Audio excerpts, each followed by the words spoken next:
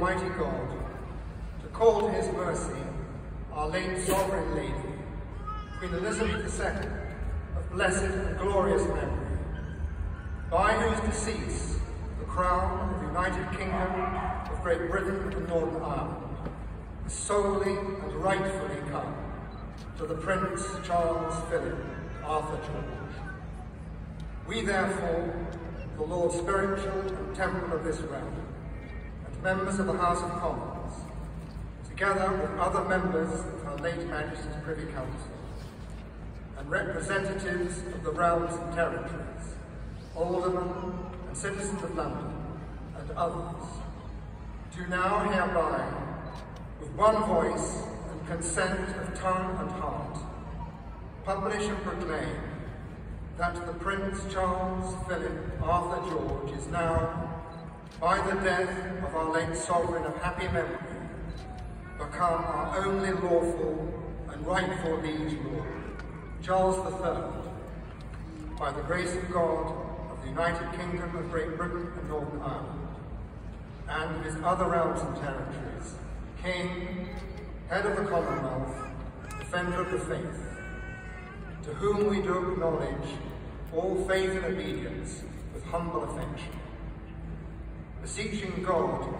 by whom kings and queens do reign, to bless his majesty with long and happy years to reign over us. Given at St. James's Palace this 10th day of September, the year of our Lord, 2022. God save the King. God save the King.